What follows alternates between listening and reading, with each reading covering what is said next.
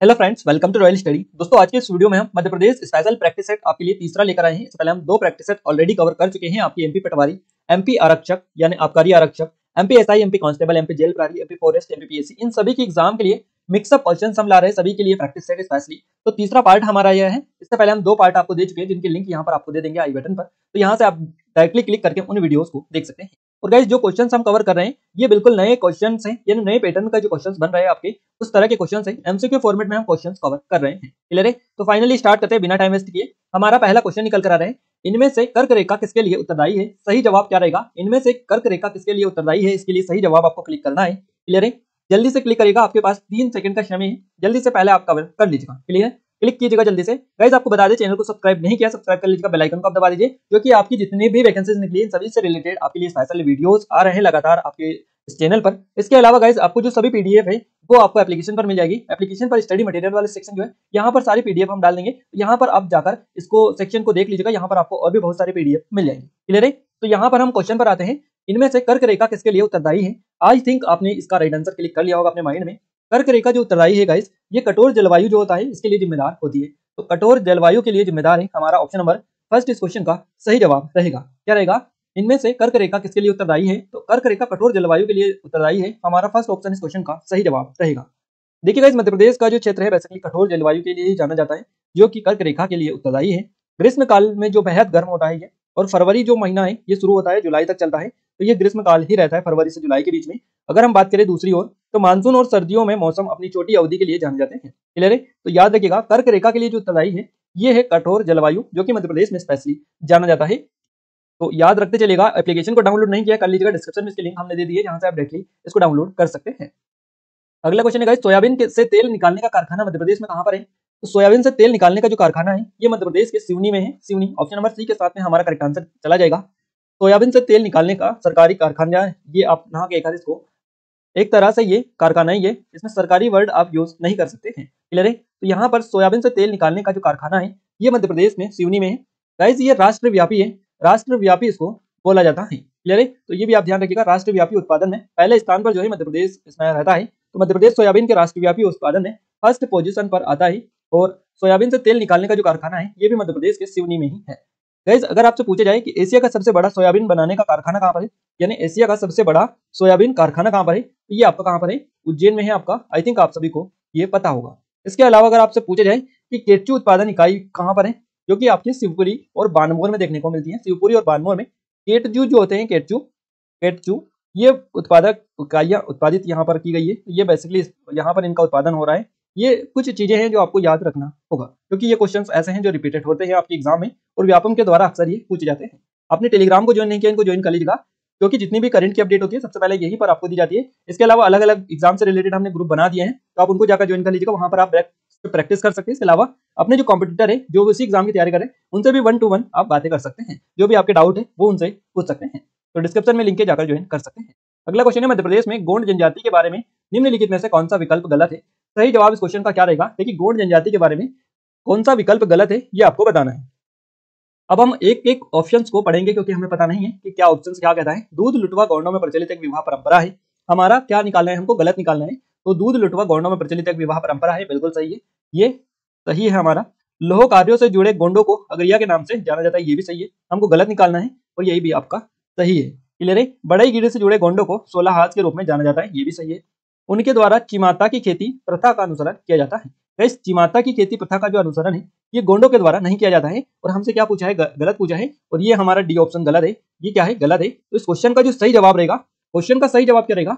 ये option number D ही रहेगा क्योंकि इसमें गलत पूछा और गलत क्या है? डी है तो इस क्वेश्चन का सही जवाब हो जाएगा ऑप्शन नंबर डी क्लियर है? देखिए, ये जो बेसिकली मध्य प्रदेश में चिमाता जो खेती गए इसका जो ये किया जाता है खेती प्रथा का अनुसरण ये भील जनजाति के द्वारा किया जाता है। भील जो जनजाति होती है, भील जिनको बोला जाता है तो भील के द्वारा या भीलों के द्वारा चिमाता कृषि पद्धति का पालन किया जाता है। ना कि गोंडों के द्वारा किया जाता है, ये तो आई थिंक आपका क्लियर हो चुका है। गोंड द्वारा जो कृषि की जाती है, कृषि पद्धति, उसको क्या बोला जाता है, ये भी आप नोट डाउन कीजिएगा, क्योंकि ये क्वेश्चन आपके एग्ज़ाम में ज़रूर से पूछा जाएगा। बारी नायक प्रणाली इसको बोला जाता है। बारी नायक प्रणाली इसको या पद्धति इसको बोला जाता है। तो अगर आपसे गोंड का पूछ रहे तो बारी नायक प्रजाति होगा और अगर आपका भील से पूछा जाए तो भील का होगा आपका चिमाता ये कृषि पद्धति होती है जो कि उस जनजाति से रिलेटेड ही कृषि पद्धति, वो जो है जनजाति अपनाती है। ये आप स्पेशली याद रखिएगा। अगला क्वेश्चन है हमारा शाहूर मध्य प्रदेश के बघेलखंड क्षेत्र का एक लोक नाटक है। यह मुख्य रूप से किसके द्वारा किया जाता है? शाहूर जो किया जाता है, ये किसानों के द्वारा किया जाता है, किसानों द्वारा। हमारा बी ऑप्शन करेक्ट आंसर रहेगा। ये मध्य प्रदेश के बघेलखंड क्षेत्र में प्रचलित एक लोक नाटक है। मुख्य रूप से किसानों के द्वारा ये किया जाता है।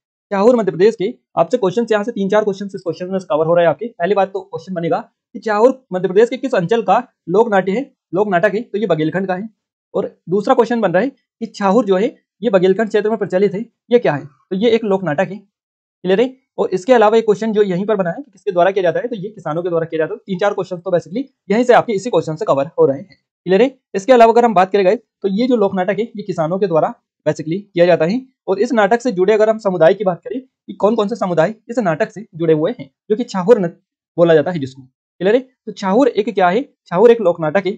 और इससे जो जुड़े समुदाय है, इसमें आपके अहिर आते हैं, अहिर। अहिर के अलावा इसमें तेली भी आते हैं, अहिर, तेली और कुमार जो जनजाति है, कुमार समुदाय जिनको बेसिकली बोला जाता है। तो ये जो है, ये तीनों इसी के अंतर्गत आते हैं। और ये कब किया जाता है? इस तरह से भी क्वेश्चन बनते हैं आपके। ये दिवाली के लगभग किया जाता है।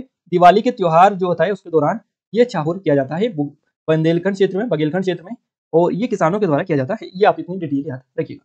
अगले क्वेश्चन की ओर आगे बढ़ते हैं। हमारा अगला क्वेश्चन है, मध्य प्रदेश में उष्ण कटिबंधी कांटेदार वनों द्वारा कितना क्षेत्र शामिल किया गया है? तो इस क्वेश्चन का सही जवाब रहेगा हमारा ज़ीरो दशमलव दो छह प्रतिशत।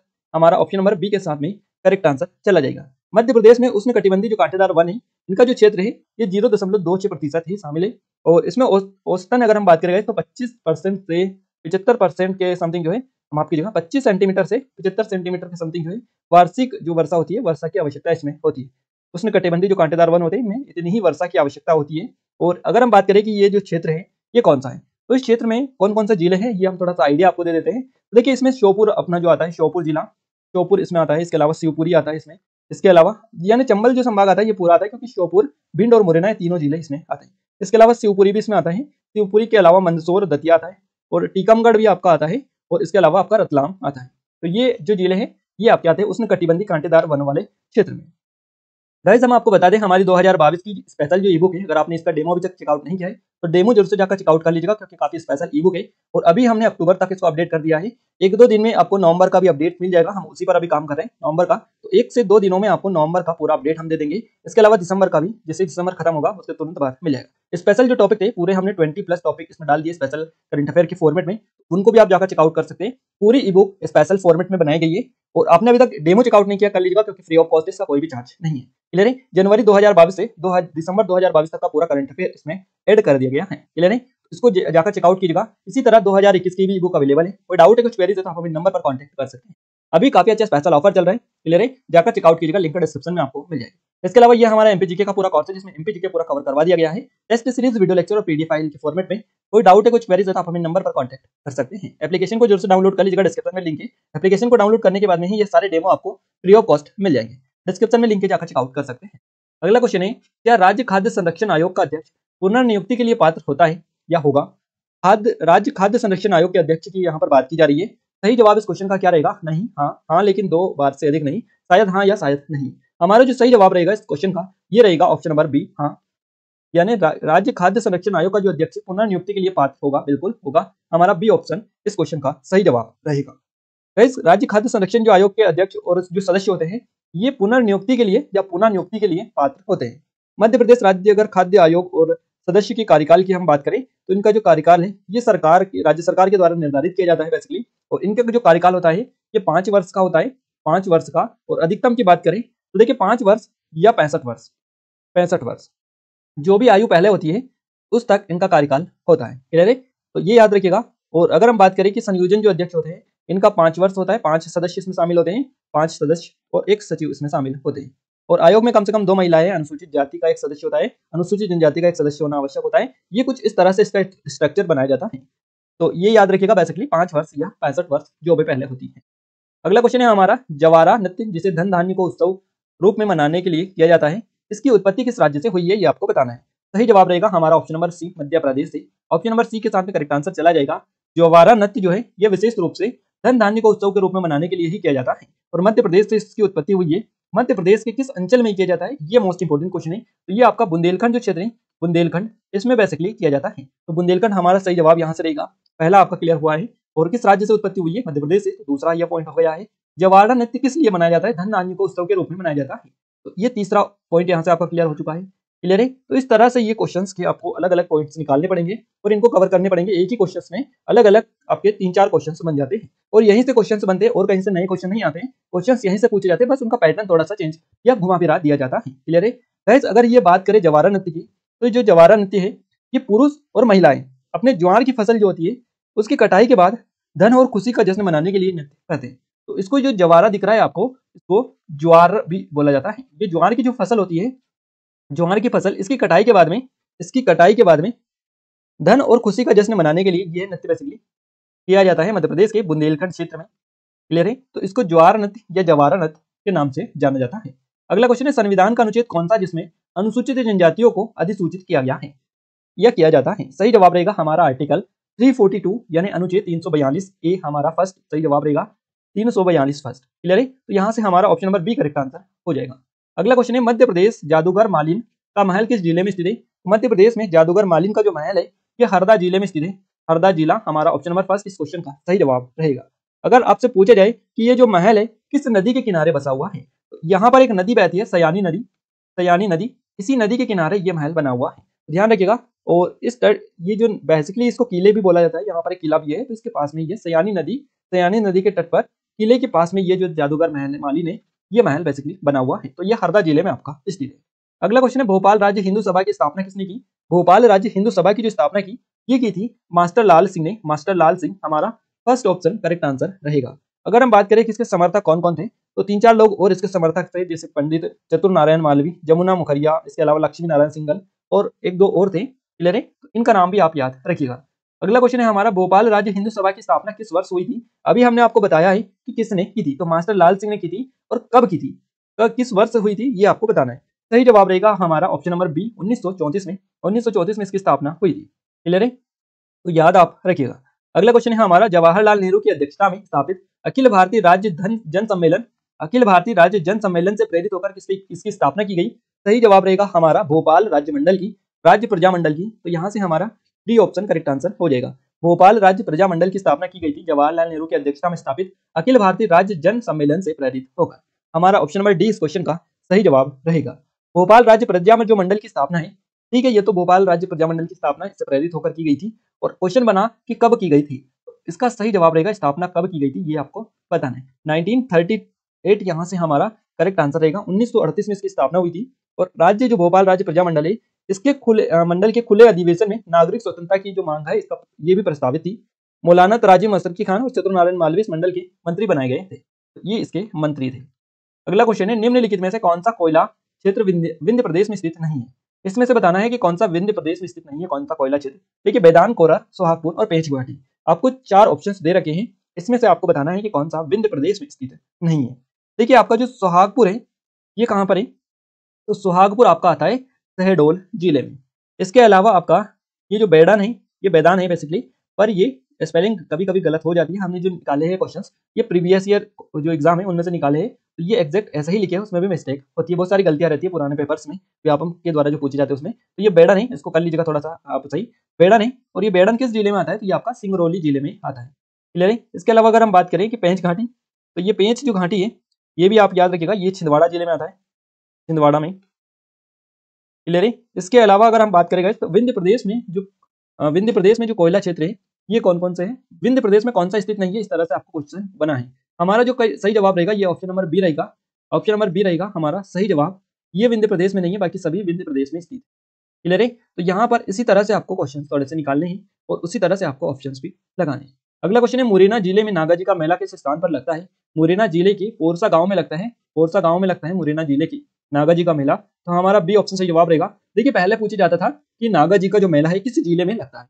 आसानी से बता देते थे, मुरैना ज़िले में लगता है। और अब क्वेश्चन पूछे जाने लगे हैं नए पैटर्न के आधार पर कि मुरैना ज़िले में नागा जी का मेला किस गाँव में लगता है या किस स्थान पर लगता है? तो ये गाँव के नाम भी दे दिए हैं। अब आप बताइए, अगर आपने पढ़ा है अच्छे से तो ही आप बता पाएँगे क्लियर है? तो कोरसा गाँव में ये मेला लगता है। गाइज़ हमने जितने भी वीडियोज़ बनाए हैं, मेलों से रिलेटेड या कोई भी बताइए जो, जहाँ भी एक्स्ट्रा फैक्ट भी हमने कवर किया है वहाँ पर हमने पूरी डिटेल के साथ में गाँव भी उनके कवर किए ताकि आपका क्वेश्चन अगर वहाँ से बने तो वहाँ से आपका पूरा कवर हो जाए। क्लियर एक सिंगल क्वेश्चन भी बाहर ना आ जाए।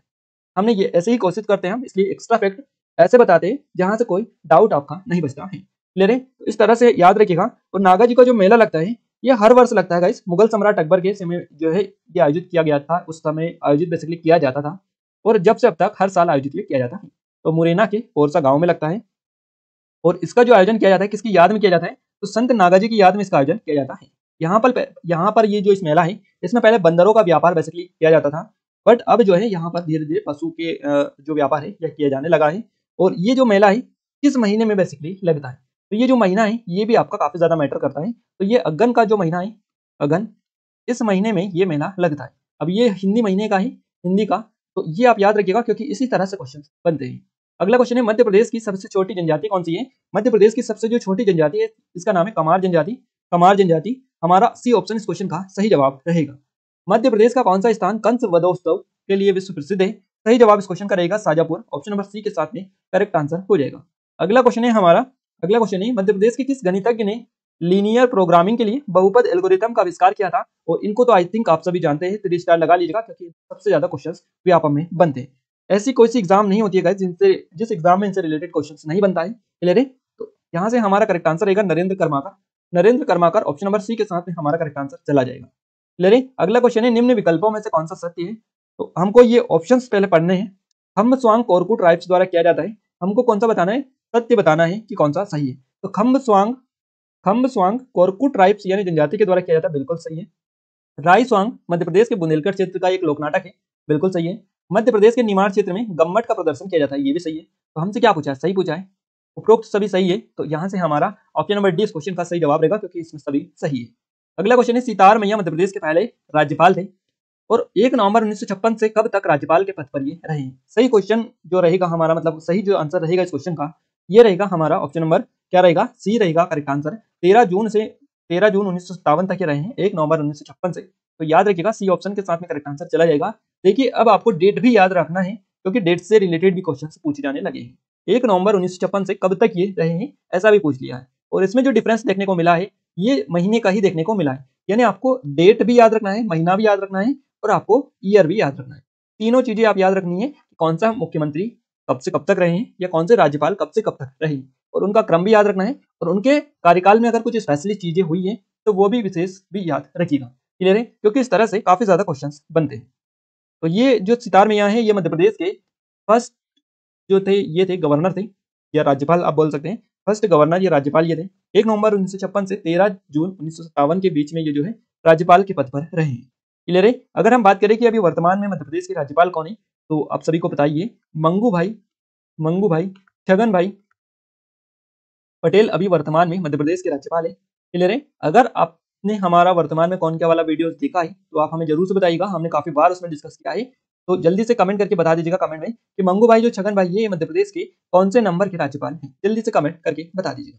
अगला क्वेश्चन है, हरदा ज़िले में स्थित मकदई का किला मकदई वंश के किस शासक द्वारा बनवाया गया था? इस तरह से क्वेश्चन आपका बनता है। क्लियर है? तो इसी में भी यही क्वेश्चन बना है बेसिकली कि मकदई वंश के किसके द्वारा बनवाया गया है? हरदा ज़िले के मकदई का किला। क्लियर है? जल्दी से बताइए सही जवाब इस क्वेश्चन करेगा मकरंद शाह के द्वारा। मकरंद शाह के द्वारा मकदई का जो किला है, ये बनवाया गया है। ये कहाँ पर है आपका? तो ये आपका है हरदा ज़िले में। Option number C correct answer हो जाएगा। अगला क्वेश्चन है, कृष्ण राव पंडित किस घराने से संबंधित है? सही जवाब रहेगा हमारा Gwalior gharana. Option number B correct answer हो जाएगा। कृष्ण राव पंडित ग्वालियर घराने से संबंधित है। एक संगीतकार थे ये, और ग्वालियर घराने का प्रमुख गायक इनको माना जाता था इसको कृष्ण राव पंडित को। इनके जन्म की बात करेगा तो जन्म हुआ था इनको 26 जुलाई को। इनका जन्म 26 जुलाई अठारह सौ तिरानवे को हुआ था। कहाँ पर हुआ था? तो ग्वालियर में ही बेसिकली इनका जन्म हुआ था। क्लियर है? इनके पिता जो थे शंकर राव पंडित कृष्ण राव पंडित के जो पिता थे शंकर राव पंडित थे, और वो भी एक उल्लेखनीय संगीतकार के रूप में जाने जाते थे। तो कृष्ण राव पंडित भी संगीतकार थे, और ग्वालियर घराने से इनका संबंध रहा था। अगला क्वेश्चन है, मध्य प्रदेश लोक सेवा आयोग का गठन, एक नवंबर उन्नीस को राज्य पुनर्गठन अधिनियम की किस धारा के अनुसार किया गया था? मोस्ट इंपोर्टेंट क्वेश्चन है, सही जवाब रहेगा धारा एक तीन के अंतर्गत। हमारा ऑप्शन नंबर फ़र्स्ट के साथ में करेक्ट आंसर हो जाएगा। डीवी जो रेंगे थे डीवी रेंगे ये मध्य प्रदेश लोक सेवा आयोग या फिर एमपी पीएससी एमपी पीएससी के पहले चेयरमैन थे, अध्यक्ष थे। इसका मुख्यालय कहाँ पर है? इंदौर में है। और इसका जो स्थापना हुई थी, गठन किया गया था यह एक नवंबर उन्नीस छप्पन को किया गया था। अगला क्वेश्चन है, बड़वानी स्थित बवन, बावन गजा को किस और नाम से जाना जाता है? बावन गजा जो है, ये आपका बड़वानी में है, ये तो डाउट आपका क्लियर हो चुका है। इसको एक और नाम से जाना जाता है, जिसका नाम है चूलगिरी। चूलगिरी सी ऑप्शन के साथ में सही जवाब हमारा रहेगा। मध्य प्रदेश में 15 अगस्त 2003 को तीन नए ज़िले और बनाए गए, जिसमें क्या आ सकते ये आपको बताना है। क्लियर है? तो तीन ज़िले बनाए गए थे पंद्रह अगस्त दो हज़ार तीन को, ये तो आप सभी को है अब इसमें से आपको बताना है कि क्या सही है और क्या गलत है। क्लियर है? तो इसमें हमको गलत बताना है, जिसमें क्या असत्य है, ये आपको बताना है। क्लियर है? तो गुना से अशोकनगर बनाया, अलग करके बनाया गया था। बिल्कुल सही है। गुना से अशोकनगर अलग किया गया था। गलत बताना है, सही को आपको छोड़ देना है, गलत बताना है, गलत जो है। तो गुना से अशोकनगर को अलग किया था। बिल्कुल सही है। शहडोल से अनूपपुर को किया था, ये भी सही है। खंडवा से बुरहानपुर को किया था, ये भी सही है। अनूपपुर से शहडोल को किया था, ये गलत है। इसको नहीं किया था तो यह हमारा सी ऑप्शन इस क्वेश्चन का सही जवाब हो जाएगा। निम्न अगला क्वेश्चन है हमारा, निम्नलिखित में से किस मध्यकालीन शासक ने सार्वजनिक वितरण प्रणाली प्रारंभ की थी? मध्यकालीन शासक थे ये, और इनका नाम था अलाउद्दीन खिलजी अलाउद्दीन खिलजी। इन्होंने मध्यकालीन शासक थे और सार्वजनिक वितरण प्रणाली इन्होंने प्रारंभ की थी। फ़र्स्ट ऑप्शन इस क्वेश्चन का सही जवाब हमारा रहेगा।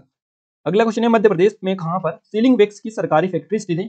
सीलिंग वेक्स की जो सरकारी फैक्ट्री है, ये मध्य प्रदेश के उमरिया ज़िले में स्थित है। डी ऑप्शन सही जवाब हमारा हो जाएगा। अगला क्वेश्चन है, मध्य प्रदेश में मुख्य रूप से मार्किंग नट या बिलवा का उत्पादन कहाँ किया जाता है? तो ये बिलवा बेसिकली इसको बोला जाता है और इसका जो उत्पादन किया जाता है, ये छिंदवाड़ा ज़िले में किया जाता है। तो सी ऑप्शन नंबर बी के साथ में करेक्ट आंसर चला जाएगा। और अगर बात करें मध्य प्रदेश में कुल लकड़ियों का कितना उत्पादन होता है भारत में तो देखिए भारत का, भारत की कुल लकड़ियों का अगर मध्य प्रदेश में उत्पादन हम देखें तो ये लगभग ट्वेंटी परसेंट का समथिंग होता है। अगला क्वेश्चन है, अलीजा प्रकाश किसने लिखा था? अलीजा जो प्रकाश लिखा था, ये लिखा था पदमाकर ने। Padmakar B option correct answer हो जाएगा।